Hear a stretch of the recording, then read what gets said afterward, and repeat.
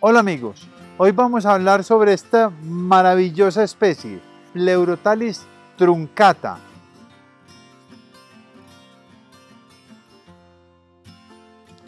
Como todos los pleurotalis, florecen en las hojas. Es una planta de tierra muy fría, entre 1700 y 3000 metros, es ecuatoriana, es, su hábitat o su lugar donde se encuentra en los bosques es epífita o litófita. Es una planta muy florecedora, las ramas florales pueden medir 7 centímetros, eh, la floración, la flor individual puede medir 0.33 centímetros.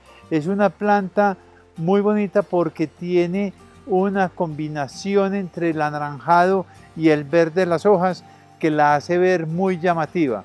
Es un pleurotalis que cuando está bien florecido es una planta muy gustadora para los jueces porque llama mucho la atención.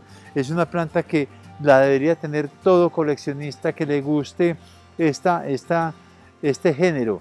Pleurotalis es de los géneros más grandes que pueden tener la naturaleza. Estamos hablando entre 600 o más especies este género y este puede ser uno de los eh, de las especies bien representadas y bien bonitas de, de pleurotalidíneas.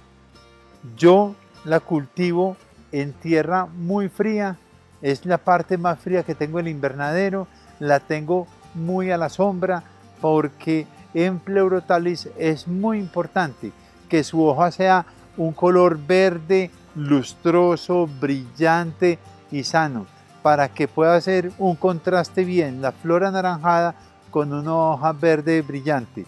Por esa razón la tengo en un lugar oscuro y uno pensaría que cuando está con tanta oscuridad su floración no va a ser tan buena y tenemos estos excelentes resultados. El medio de siembra es piedra con, con eh, sustrato de pino Claro que la tengo por la parte de arriba con mucho más sustrato de calcáreo y la planta está feliz porque aquí se ve solamente en esta sección de la planta brotes nuevos, que lo cual está garantizando y asegurando de que tenemos floraciones y crecimiento de las plantas futura de mucho más calidad.